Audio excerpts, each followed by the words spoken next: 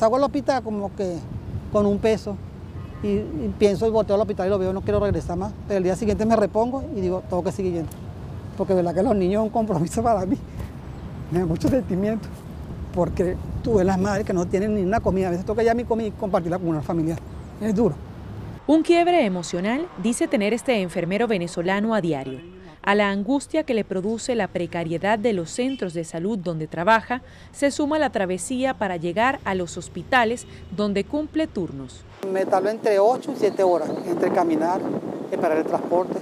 Vive en Los Teques, a 45 kilómetros de Caracas, la ciudad donde labora. Para salir de allí y llegar al hospital, debe tomar tres autobuses y el sistema metro. Pero estos servicios no siempre están operativos. Si no consigo vehículos, que ahorita no hay, tengo que caminar muchas cuadras. Ejemplo, te puedo decir 5, 6, 8 kilómetros. Lo mismo le ocurre a esta bioanalista, quien a pesar de no vivir tan apartada del hospital donde atiende, espera por un autobús que demora horas en llegar. Puedes caminar más de media hora, 40 minutos, porque tienes que hacer un transbordo y bueno, ya como no hay transportes disponibles para llegar a, a, al, al hospital, entonces toca caminar.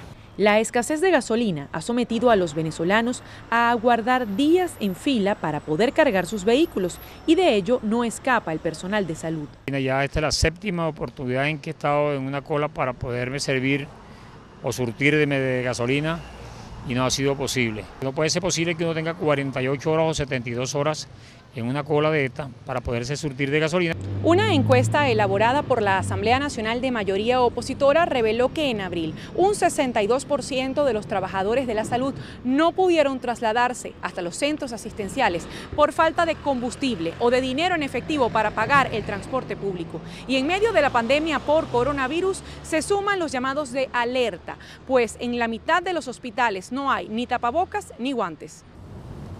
24 horas de tapabocas y ya después de 6 horas pierde las barreras ya.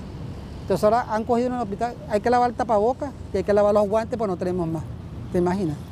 No hay agua, no hay antiséptico, no hay ninguna medida de protección para mí. Entonces, por eso que me sigo preguntando a qué voy yo al hospital, qué hago al hospital, correr riesgo y no resguardo mi vida. Adriana Núñez Rabascal, Voz de América, Venezuela 360.